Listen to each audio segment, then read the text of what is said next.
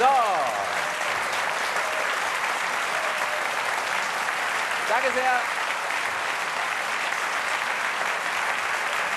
Herzlichen Dank.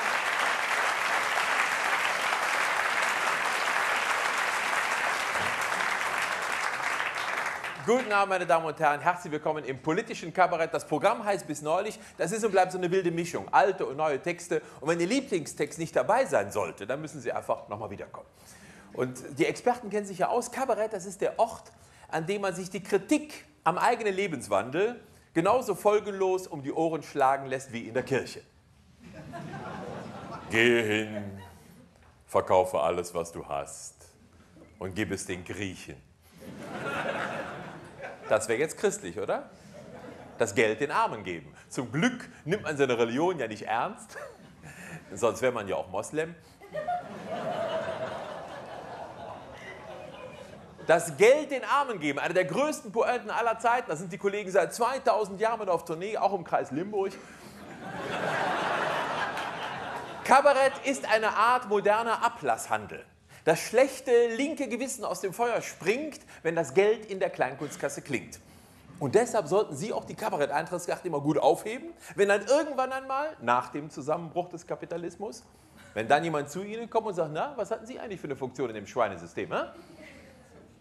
Ich meine das Ausbeutesystem, in dem wir leben.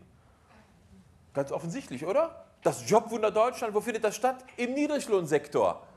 Noch nie hatten so viele Menschen Arbeit wie im Augenblick, das stimmt. Und noch nie konnten so viele Menschen von der Arbeit, die sie haben, gar nicht leben. Ich habe immer gesagt, beschäftigen kann ich mich selber.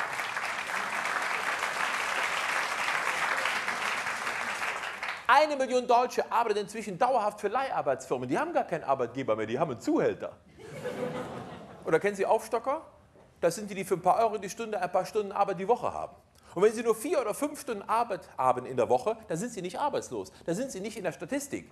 Sie haben keine 35-Stunden-Woche, Sie haben nicht mal eine 35-Euro-Woche, aber Sie haben Arbeit.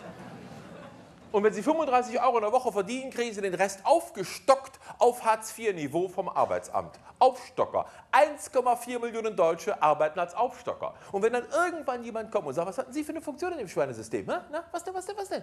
Dann sagen Sie halt, Moment, dann holen Sie den großen Karton mit den Kabarett-Eintrittskarten raus. Dann sagen Sie, hier, Freundchen, ich war im Widerstand.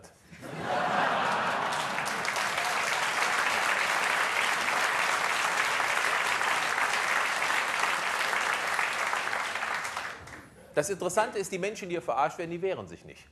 In ganz Europa sind die Menschen zum Teil wütend auf der Straße und demonstrieren und in Deutschland ist Ruhe. Ich glaube, die Verarschten hier sind schon einen Schritt weiter. Die haben schon begriffen, das hilft alles nichts mehr, in diesem Wirtschaftssystem noch zu demonstrieren. Die gehen noch nicht mehr wählen. Ein Drittel der Bevölkerung geht nicht mehr wählen. Warum auch? Warum soll ein Hartz-IV-Empfänger wählen gehen? Fragen Sie mal, was ihm lieber ist. Schwarz-Rot, Schwarz-Grün, Schwarz-Gelb, Rot-Grün, Rot-Gelb. Da sagt er, wollen Sie mir Scheiße in verschiedenen Geschmacksrichtungen anbieten?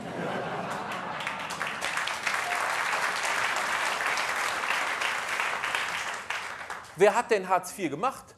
Das war doch nicht die FDP.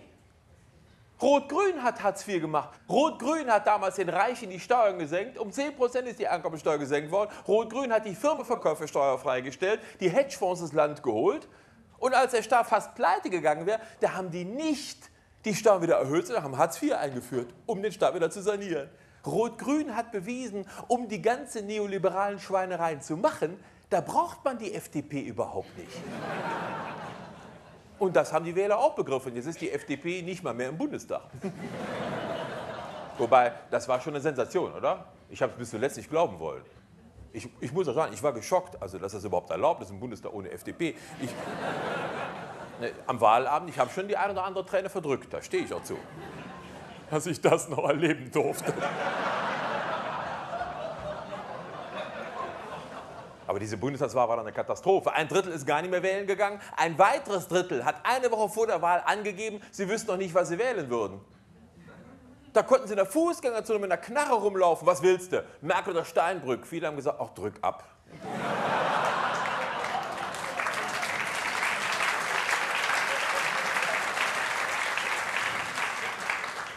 Und seit der Wahl wissen wir nur endgültig, ohne Angela Merkel geht es nicht. An Angela Merkel führt kein Weg vorbei in diesem Land, politisch gesehen. Das ist, Da muss man auch Konsequenz haben, finde ich. Man muss auch mal eine Konsequenz ziehen. Ich schlage offiziell vor, solange diese Frau lebt, soll man das mit dem Wählen einfach schenken. Ja, ich finde, Angela Merkel soll alle vier Jahre sagen, mit wem sie zusammen regieren möchte. Wir wählen doch sowieso so, dass sie sich den Koalitionspartner aussuchen kann. Da können wir uns doch den Wahlkampf schenken. Das ist eine Beleidigung für jeden, der bis drei zählen kann. Die Merkel ist einfach unschlagbar. Das ist, das ist der FC Bayern München der deutschen Politik. Nur ohne Pep halt.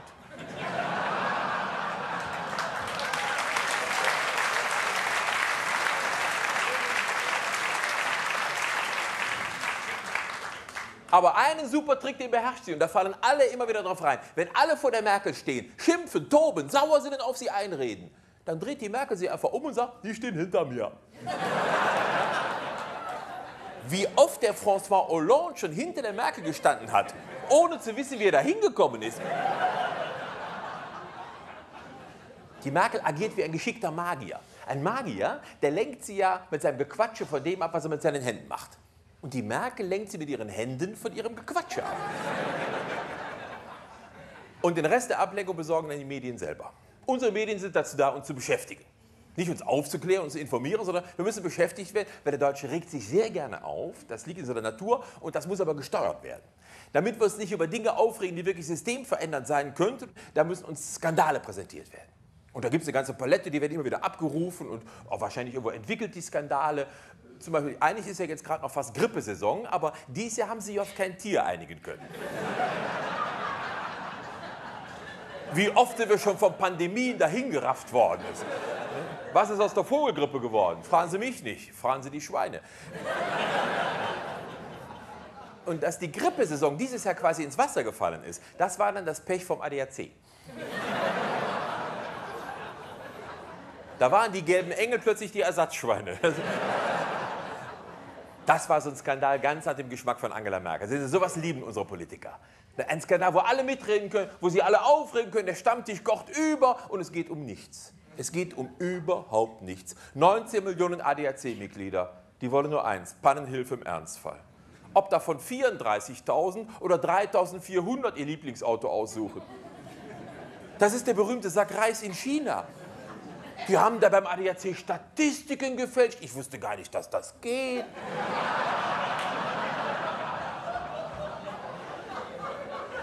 Das sind die Themen, mit denen wir abgelenkt werden. Skandale, Skandale, Lebensmittelskandale werden immer wieder gerne genommen. Da kann der Deutsche sich immer aufs Neue wieder aufregen. Man kann nichts mehr essen. Mit vollem Mund wird da rumgejammert. Letztes Jahr war es ganz schlimm. Erst die Bio-Eier von Hühnern, die gar kein Biofleisch zu fressen gekriegt hatten. Dann der Jahrhundertskandal, Sie erinnern sich im letzten Jahr, der Skandal überhaupt, Pferdefleisch in der Lasagne. Da war der Deutsche außer sich. Also da muss man auch mal sagen, der Deutsche ist geduldig. Er hat kein Problem damit, wenn einer seine Telefongespräche abhört. Es ist ihm egal, ob seine E-Mails mitgelesen werden, aber Pferdefleisch in diesem urdeutschen Gericht Lasagne, da ist Schluss mit lustig da ist auch mal eine Grenze erreicht. Ich sage Ihnen, wenn da die Amis hintergesteckt hätten, da wären wir einmarschiert. Da wäre alles vorbeigegangen.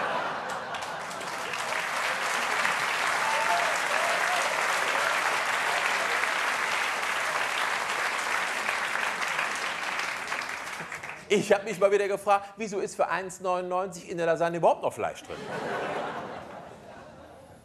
Vor zwei Jahren war Dioxid im Schweinefleisch. Können Sie sich daran erinnern? Ja, da haben die zugegeben, dass sie die Schweine mit Klärschlamm mästen.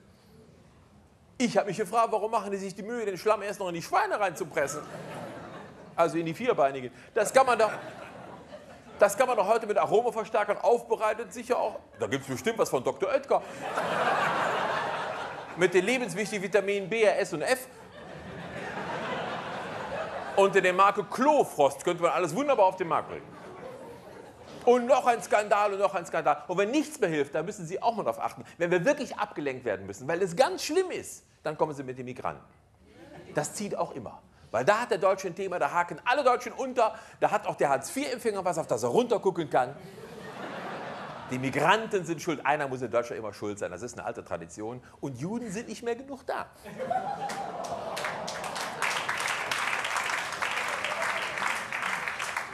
Und dann, äh, vor zwei Jahren, Anfang Mai, durften die Polen plötzlich europaweit frei ihren Arbeitsplatz wählen. Die Übergangsfrist war abgelaufen und dann dieser Artikel im März in den Zeitungen. Oh, jetzt kommen die Polen. Millionen von Polen standen Hufe scharrend an der Grenze, um uns jetzt zu überrennen. Aber die meisten sind wohl durchgelaufen. Es ist nicht, nicht viel passiert. Jetzt, dieses Frühjahr waren es dann die Rumänen, die Bulgaren, schon wieder sind sie auch über den Haufen gelaufen worden. Wahnsinn!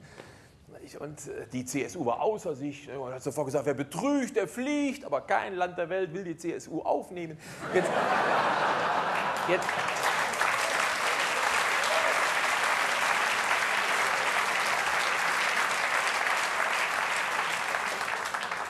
dann lese ich, dass 25 Prozent der Rumänen, die kommen, einen akademischen Abschluss haben. Und schon begreife ich die Ängste der CSU. Da kommen jetzt Leute mit einem richtigen Doktortitel, das wird eng.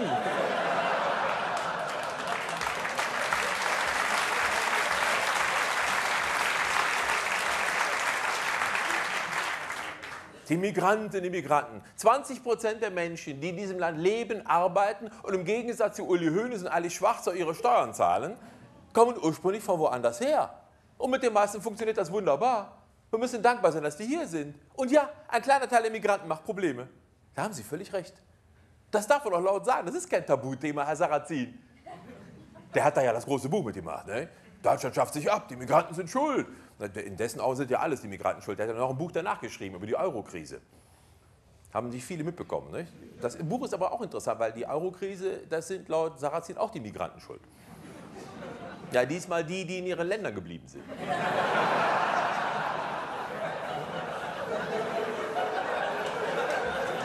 Ja, einem, einem echten Deutschen wie dem Sarrazin macht der Ausländer nichts vor, aber kommt oder bleibt. Ne?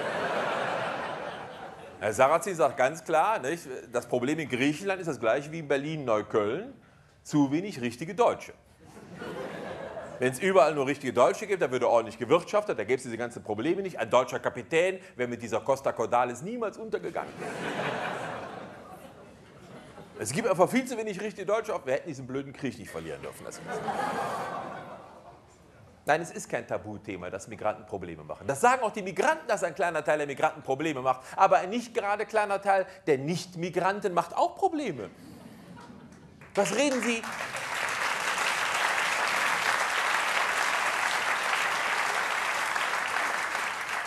Was reden Sie von Integration? Glauben Sie, man kann diese Neonazi-Glatzköpfe in dieses Land noch integrieren? Da wäre man doch froh, wenn die ein Kopftuch tragen würden.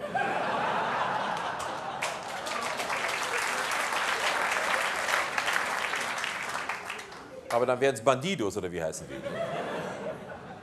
Aber Kopftuch, das ist auch so ein Thema, wo der Deutsche sich aufregen kann. Kopftuch, da kann man immer wieder, oh, die Frauen werden unterdrückt durch das Kopftuch. Und das kann ja der konservative Politiker überhaupt nicht ertragen, wenn Frauen unterdrückt werden.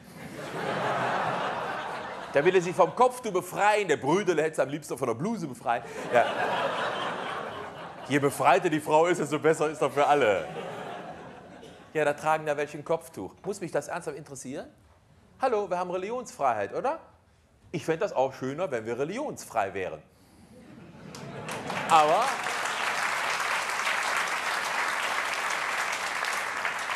wir haben Religionsfreiheit. Das heißt, jeder kann jeden Quatsch glauben, den er für richtig hält.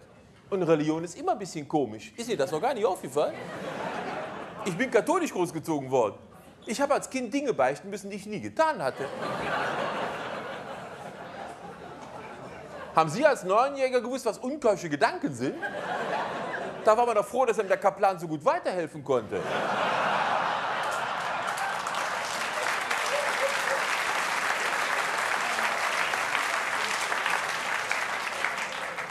Aus sowas wächst man doch irgendwann raus, dann entwickelt man eigene Wertvorstellungen. Heute sage ich mir, Religion ist was für Leute, die den Alkohol nicht vertragen. Es, gibt katholische Akademiker, die halten Vorträge darüber, dass man Homosexualität mit Globuli heilen könne. Ja, natürlich müsste man die eigentlich einschläfern, aber man tut es nicht. Man erträgt das dumme Geschwätz. Das ist nämlich Toleranz. Tolerare heißt ertragen, aushalten. Das hat mit toll finden überhaupt nichts zu tun. Es gibt Arschlöcher, die behaupten, dass sie an Gott glauben und es gibt Arschlöcher, die behaupten, dass sie an Allah glauben. Das hat auch mit Religion nichts zu tun. Ein Arschloch ist ein Arschloch. Fertig aus.